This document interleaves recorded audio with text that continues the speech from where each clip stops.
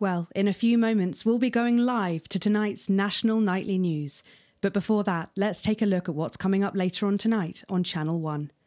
At 7 o'clock, it's the semi final of the quotation game, and it's a nail biting quiz tonight as a team of nuclear physicists take on four old ladies from East Grinching. That's followed at 8 pm by award winning documentary series The Shape of Now, which tonight looks at the history of the knee length sock and its importance during the Great Blackouts of 1871. Not one to miss. At 9 pm, sit back and relax with multiple award winning movie The Freedom of Being Colin taking us all the way up to 11.15, where, as usual, Dr. Adrian Atkinson Blimey will be grilling his guests in Incisors, and tonight sees a return for leading economist Katie Brightman. Finally, at midnight, it's the National Weather Report before we say good night until tomorrow. But now, it's time to join Jeremy Donaldson for the National Nightly News. Good evening, I'm Jeremy Donaldson. Our main stories tonight. Moving on up, the election win that experts said just couldn't happen. Hopeful or hostile? Controversy as global mega corporation Remington's Fist buys Honest Andy's Totally Independent and corners the flowered market. Top chat. Sports fans everywhere celebrate as popular footballer Johnny Hamsleeves wins Sports Personality of the Year. And a spoonful of sugar. Megan will be chatting with movie star Lawrence Blunderclatch about his new movie, The Medicated. And, of course, We'll be going live to Advance headquarters to hear what the leaders of this fledgling party have to say on their historic victory. That's all coming up on tonight's National Nightly News.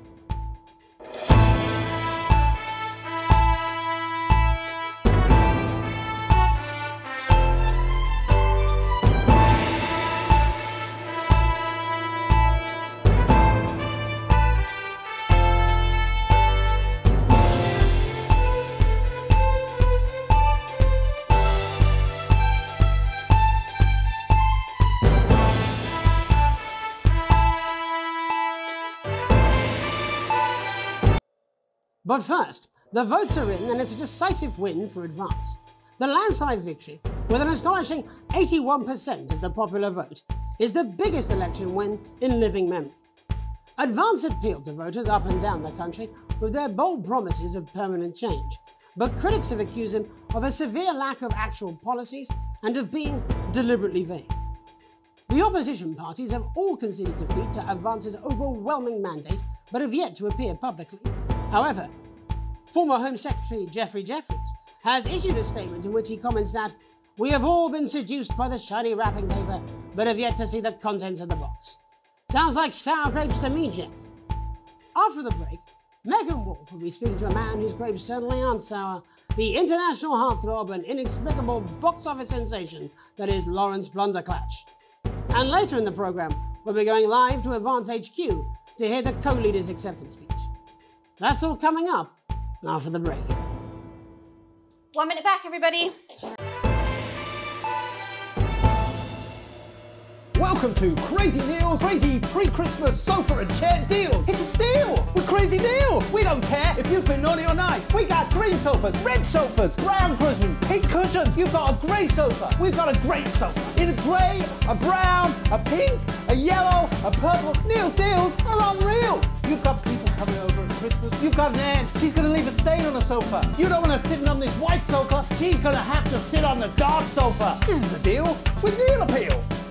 You want to throw? Throw your money at us. We'll give you a leather sofa for a price that is just crazy. If you've got lightning, strike it. Then strike whilst the lightning is hot. You've got a disused sofa. We don't care if it's smelly, stuck in front of your telly, full of welly. We'll take that shit away. Don't make a meal out of it. Make a deal out of it. We got a big ass deal on a big ass chair. We've got white chairs, blue chairs, stools, inflatable chairs. This is a crazy deal with Neil Appeal. You don't want no lame ass chair. You want a great chair. We had a man come down the other day and he brought in his young daughter and he wanted her to have the best chair. We got those chairs. We got those chairs. We got tall chairs, chairs on wheels, wheelchairs. We got chairs for twins, chairs made out of steel, chairs that are a steal and a deal. We got those chairs. You want crazy? We got crazy. Crazy Neil's got crazy deals. You want a toilet? We can do you a toilet. We can do you a toilet next to a chair. We can do you a chair next to a toilet. Hell, we can even do you a toilet chair. So you come on down, you bring your ass, we got it, you want it. You want it, we got it, you want it. You pay us, you want it, We got it, you want it. You want it, We got it, you pay us. Welcome back to the National Nightly News. Later, we'll be hearing from shock election winners Advance, but first, our very own culture reporter, Megan Wolfe, is here with a star of both stage and screen. Megan? Thank you, Jeremy. Megan Wolfe, culture correspondent. And today I have a guest who starred in everything from Shakespeare to the Shotbot films. I'm very excited to be joined today by none other than Lawrence Blunderclatch. Thank you so much for coming on. Oh, my dear, I do hope you believe me when I tell you that being with you here today is among the greatest joys of my life. May I say, having you here with us is among ours. Bless you. so, you've just finished filming your latest movie, which is called The Medicated. The medicated, yes. wow, what was that like? well, as I said to Peter at the Wrap, that's Peter Jensen, the director. Do you know him? He's a wonderful chap. He really is. I've worked with him on several movies, all terribly successful. I said to Peter, What a wild ride this has been. And do you know what, Megan? I really meant that. Wow, that is fantastic. And am I right in saying that the character you play in this movie is quite an academic one? Absolutely right. A scientist. Was that a challenge at all? What exactly are you implying? But seriously, yes, you're right. It was a complete departure from my last starring role when I played Sergeant Brock Rockman in Bullet Man. You'll remember that that was the true story of one soldier's fight for a love that surpasses all others. A love, of course, for freedom. I think it's grossed over a billion dollars, but uh, honestly, who's counting? It's a role that saw you scoop two Best Actor awards, if I remember correctly. It's so sweet of you to mention it, but I really am not in it for the awards, although those three little statues do take pride of place on my mantelpiece. Uh, with all the others, I'm sure. So, if you're not doing it for the awards, hmm. what is it then that drives you? Ah, that is a beautiful question, Megan, and not easy to answer. Like you, I'm afraid. Cut me, and I will bleed. And often, that's how it feels, doesn't it? Doesn't it? Bleeding, giving, suffering for one's audience. I suppose in the end, I do it for the difference it makes. I do it for the people that I inspire, the little people. But most of all, I think I do it for the positive change that I can bring about in the world. And today, of course, we're in for some real change, it looks like, in the coming few months. What do you make of this historic election result? Oh, well. well, now you're asking. Historic election result. Indeed. Historic is the word. Well, it's difficult, isn't it? Very difficult. But um, I think I've always been quite clear that when it comes to politics, that one should always strive to fuck things up. Uh, yes, well, I said fuck. No. Is that, I'm really well, apologize. well, Sorry. Lawrence, I believe you brought in a clip from The Medicated, which opens next week around the country. Lawrence, do tell us what's going on here. I'd be delighted. this is a really pivotal scene where my character, Dr. Lodds Hemlock, is faced with a decision that could affect humanity's very survival. Wow, Exciting stuff. Let's take a look. And we're out. Rob, get the car. We're out of here. Mr. Blunderclap.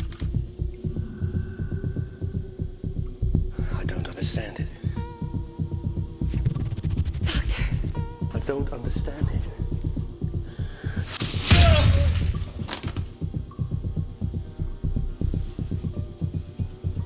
It's not your fault. You think I don't know that?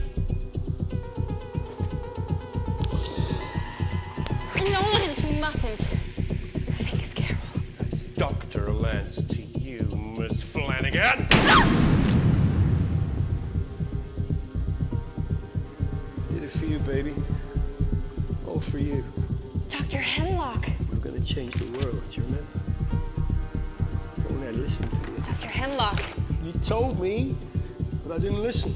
Doctor, I'm drowning, Lance, you said. you need to see this. No, it's all too late. Look at this!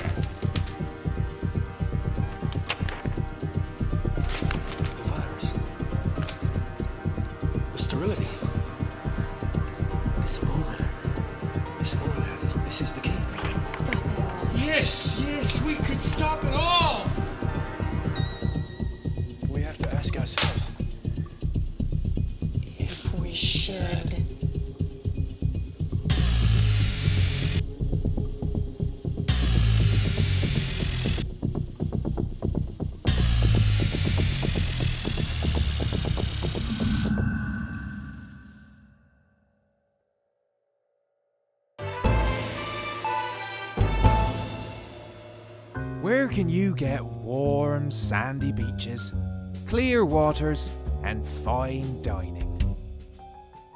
Well, we're not sure, but here in St Bumley on the Taint, we've got a big hill and the bus comes twice daily.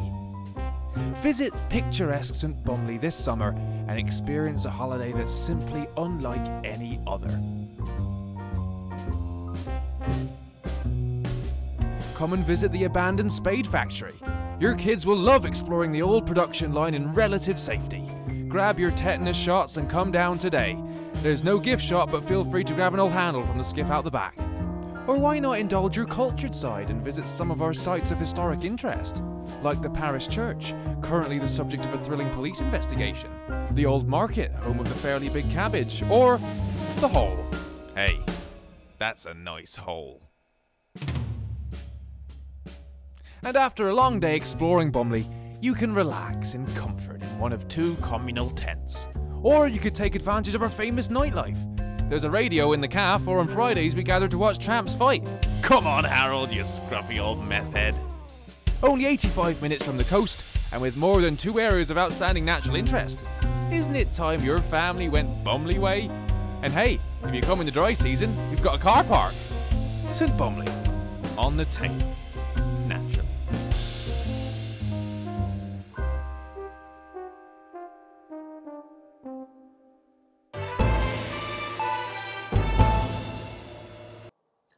Welcome back. And I'm told we can now go live to Advance headquarters where the two leaders, Peter Clement and Julia Salisbury, are about to make their acceptance address. Shall I start? Go for it, Pat. Okay, well. Okay. And, well, where do I start? What a day. They said we couldn't do it. They certainly did. They used every dirty, low-down, lying than trick they had against us. But you, the people, you saw right through their sh- I'm sorry about the language there. Sorry about that. I've had a couple of celebratory pints. It Makes me coarser than the granny's Memorably put. but to be honest, who can blame Peter for celebrating? Throughout the campaign, you've heard us say that Advance are not a political party. A party's what you have when things are going well. When the country is suffering, you don't need a party. You need a team. A team that can change things. But today is day one of a new future. A better, fairer future. So perhaps we should all be celebrating. Except for the rich. For them, the party's over. They shouldn't be celebrating. They should be putting their pants on and opening their dusty checkbooks. Again, colourfully put, but not inaccurate. Before we came out here to address the nation, we used our executive powers to pass the Assets and Wealth Act. Working with the tax office, we have produced a definitive list of every person in the country with wealth into the millions. You know the sort. Or probably you, you rather you don't.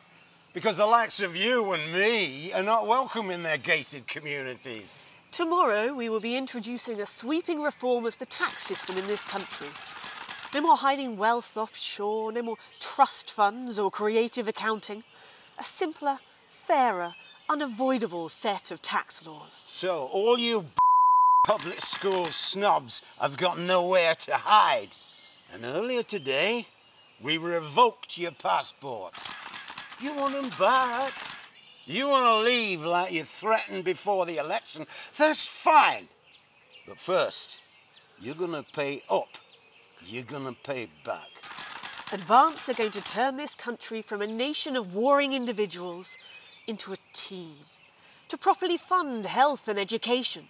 To raise the living standards of us all. The pundits said we'd have to raise billions. But you'll see when we've reclaimed what's ours, that's absolute ferret. So to you posh People who pay you a pittance to serve them drinks in their private clubs. The, the people whose children you raise. So they've got time to get even richer. Advance have this to say to you. It ends today. We are coming for your sports cars and your mansions and your vineyards. It ends today. We will put the wealth of this country back where it should have always been in the hands of the people who created it. It ends today. Yes, it ends today. And tomorrow we'll start making it fair again, just like we promised we would. And until then, ladies and gents, I suggest we all get p- I can't argue with that. Thank you for your time. Well, an interesting acceptance speech there from the leaders of Advance. And our apologies for the fruity language. Hopefully, we got that bleeped out for you in time. If not, someone's going to be in trouble. So, as the country braces itself for new government, that's all from us this evening at the National Nightly News.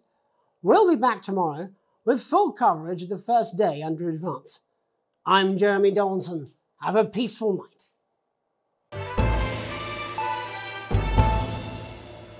I'm Alan James. This is not a movie.